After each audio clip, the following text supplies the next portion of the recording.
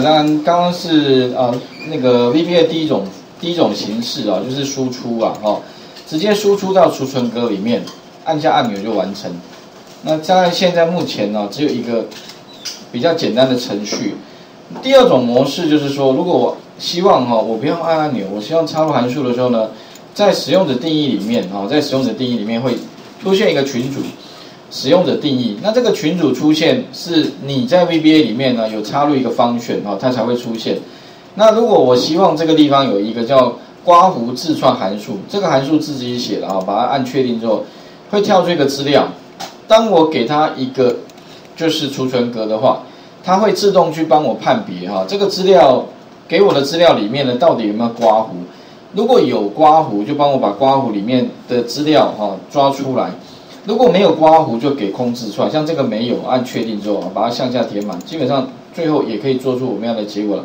那像这样的一个啊所谓的制定函数啊，要怎么做啊？第一个当然我们来看一下，刚跟上礼拜有讲过了，我把重点哦再复习一下。第一个的话哈，如果你要做出这个制定函数，一样 Visual Basic，一样特别注意哦。呃，这个地方哈，我把这个东西先先先拿掉。假设 OK，我们需要先插入一个程序，啊，记得是方选哈，我得插入一个程序，程序名称叫做什么？哎，刮胡。假设了哈，刮胡自串函数，把这个输出到这边，按个确定。这个地方记得要选择方选，OK，不能用 sub 哈，因为之前有同学选错了，奇怪，一执行就没有哦，我一看就知道哦，这个地方呢一定要用。方选哈，OK 好，然后按一下确定之后呢，假设我们这已经输入啊，再来就是说，它原来刮胡里面是空的，那这个刮胡是你跟使用者之间做沟通的一个桥梁，也就是说呢，你需要跟他要什么，要什么资料，要一个资料，要两个资料，要三个字，都是从这地方。如果一个以上的话哈，你中间加逗点，好像上个礼拜我们要三个资料，第一个，第二个。第三个中间加逗点就对了哈，那未来它就会显示出来哦，一个萝卜一个坑嘛哈。那因为这一题比较单纯，就一个，所以我们这边的话呢，输给他一个资料。这个时候呢，使用者会 给你一个资料，它从什么什么地方呢？就是从这个 A 二储存格。好，那你他给我资料了，那给我资料之后我要做什么？哎，其实哈，我一样嘛，他给我的资料，那我就怎么样呢？去。找一下，反正不外乎就跟刚刚上面这个刮胡自串的 sub 很像，差别只是没有回圈呐。哦，其实所以其实你可以怎么样拿这个来参考也可以的哈。他给你资料，哎，不外乎就怎么样，你先抓到第一个前刮胡的位置，第二个后刮胡的位置，第三个逻辑判断一下，哎，里面呢到底有没有刮胡？如果没有刮胡，那什么事都不要做。OK。可是呢，如果有刮胡的话，那我就把什么这个 A 跟 B 中间的资料切放在哪里？放其实就 return 哈，返还给谁呢？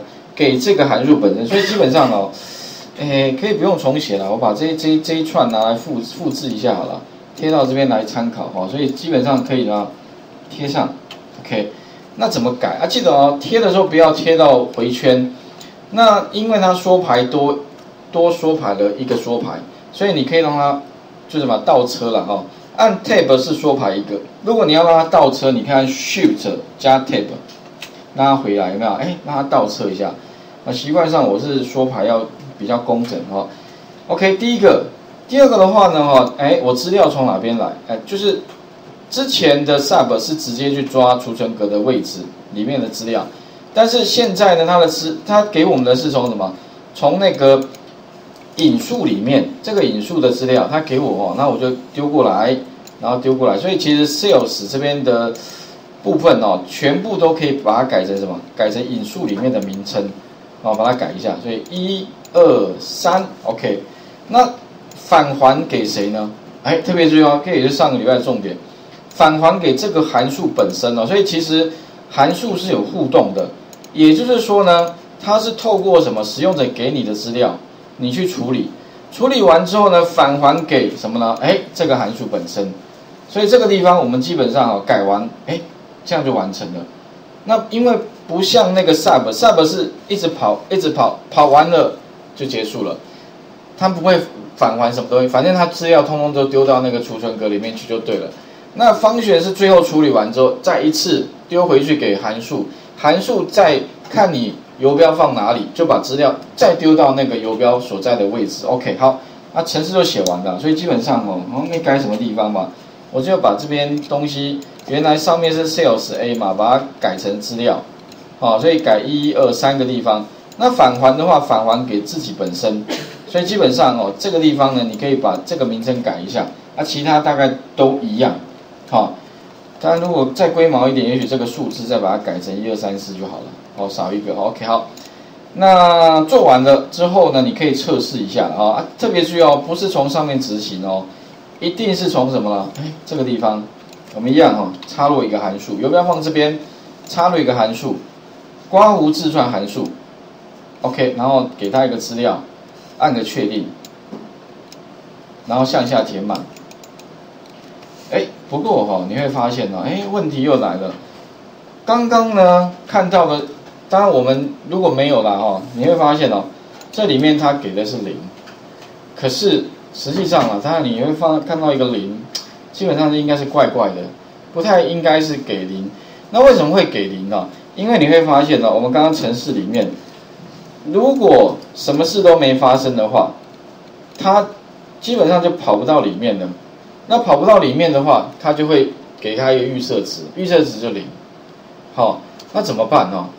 其实这边的话，当然因为这是一重回圈，一重回圈就会跑不到那个，如果找不到了，所以另外你可以在这个地方多一个动作，多一个叫 else 反之的意思啦。反之的话呢，再 enter 一下，也就是说哈，如果这个条件为 true，它就跑这边；反之呢？就跑这边，就是说，如果上面是找到，else 就下面是反之就找不到，那找不到做什么呢？很简单嘛，把这个怎么样，给它一个什么呢？空字串算的。，OK，也就是说呢，找到是执行上面的，找不到哎就执行下面的。那我们这样改一下了哈，多一个什么呢？多个 else 的一个反之的判断。那做完我们来看一下，基本上哈。做完之后，你再把它打勾了，有没有？哎，马上就得到我们要的结果了。我应该知道我在做什么了哈。OK，那这样子的话呢，哈，等于是多了一个所谓的，哎，二重、两重的逻辑判断。那这个也是我们下一个单元要讲的逻辑逻辑函数啊。不过也快讲完了哈。哎，所以后面有一重的跟二重，还有多重的，所以你有很多啦，不止两种，很多种的逻辑判断。那该怎么做？好，待会来讲哦。可以，请各位试一下这个地方哈。来，画面，呃，先还给各位一下哈。这个是制定一个什么呢？哎，刮胡自串函数。啊啊，所以这个也是上个礼拜有提到的，如何制定函数。不过上个礼拜的制定函数哦，又有一个呃，就叫什么，多一个范围嘛哈。就是如果说，当然你不止资料可能好几个的话，哎，那你可以一次。刷一下，它全部都帮你一次性做完，好，OK。那这里的话，我想各位试一下哈。最后做完的那个程式，当然在云端上也，不过建议哈，还是可以的话啦。你如果第一次也许你可以先复制贴上，先撞一下看看 OK 的。第二次的话，你可以把重要的东西删掉，好，有些地方你可以自己再试着哈重新打过了，好体验一下。那其实说真的，到你大概多体验个几次以后，这东西就非常的熟练了。因为从我们呃第一次上课到最后一次上课啦，其实做来做去都跟这个很有关系。那只是说后面的课程哈，会把程式越来越复杂，然后呢，可能使用的函数慢慢会偏重在其他方面。也许第一前面会是文字与资料。第二的话就是，也许我们再来就是逻辑的部分，偏重在逻辑哈。再来第三个就是日期与时间，再来就是数学跟统计，好，再来就是检视与参照，好，所以慢慢慢慢的，哎，会再增加其他类型的函数进来。那其实特别注意就是说，我们学的哈，只是给各位一个方法了哈。特别注意就是，尽可能你是学的是。使用这些函数的方法哈，而不是去死背它。这些东西都活着了哈。其实你只要知道那些方法、原理、原则之后哈，即便呢你没有用过那某些函数，你其实基本上很快也可以知道它该怎么用。好啊，当然这地方如果说你需要一些呃更多的练习的话哦，其实在我云端上有蛮多其他的那个补充资料，或者是说哈在。我们好像呃有有一本上课的参考用书，那个四百六十八招那里面哦，也有非常多的练习范例哦。如果你你当然要想把 Excel 给彻底的哈练到某一个呃一个一个等级的话，其实把那些通通都熟悉，我想哈基本上也也已经哦非常的足够了哈。